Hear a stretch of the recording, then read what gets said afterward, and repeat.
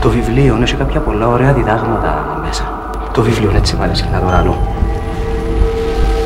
Για παράδειγμα, λαλή και φιλοτιμήστε, ησυχάζει και πράσινη τα ίδια. Αλλά πράσινο.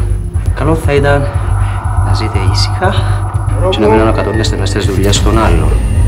Το δίδαγμα περιγράφει μια από τις πιο όμορφες ιδέες του χριστιανισμού.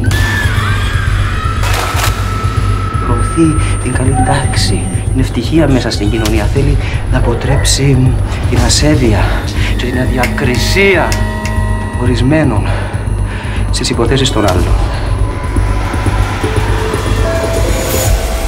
Ούψ, έκαμε στα θάλασσα.